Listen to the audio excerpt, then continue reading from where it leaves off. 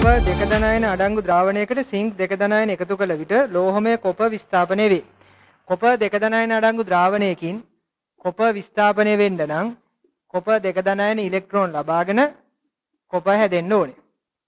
එතකොට කොප දෙක දනයන ඉලෙක්ට්‍රෝන ලබා ගන්නවා නම් සිදුවන අනික් ප්‍රතික්‍රියාව ඉලෙක්ට්‍රෝන පිට කරන ප්‍රතික්‍රියාවක් වෙන්න ඕනේ. ඒතර සිංක් දෙක දනයන දැම්මොත් සිංක් දෙක දනයන වල ඉලෙක්ට්‍රෝන පිට කිරීමක් සිද්ධ වෙන්නේ නැහැ. ඒකට හේතුව සිංක් වල තියෙන්න පුළුවන් ඉහළම ඔක්සිකරණ අංකය ධන දෙක. ඉතින් සිංක් දෙක දනයන කරනවා නම් කරන්න පුළුවන් ඉලෙක්ට්‍රෝන ලබාගෙන සිංක් බවට පත් වෙන්න. එතකොට මේ ප්‍රතික්‍රියාවත් ඔක්සිජන් ප්‍රතික්‍රියාවක් සිදුවේ යුත්තේත් ඔක්සිජන් ප්‍රතික්‍රියාවක්. ඒ නිසා කොප දෙක දනයන සිංක් දෙක දනයන එක්ක ප්‍රතික්‍රියා කරන්නේ නැහැ. ඒ නිසා කොප ලෝහය විස්ථාපනය වෙන්න විදිහක් නැහැ. ඒ නිසා පළවෙනි ප්‍රකාශය අසත්‍යයි. කොප දෙක දනෙහි සම්මත ඔක්සිජන් විභවය සිංක් දෙක දනෙහි සම්මත ඔක්සිජන් විභවයට වඩා ධන වේ. දෙවැනි ප්‍රකාශය සත්‍යයි. ඒකට හේතුව කොප විද්‍යුත් රසායනික ශ්‍රේණියේ සිංක් වල වඩා පහළින් තියෙන්නේ.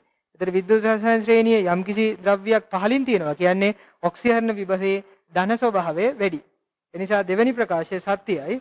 ඒ ප්‍රශ්නේ නිවැරදි පිළිතුර අංක 4 වෙන්න ඕනේ.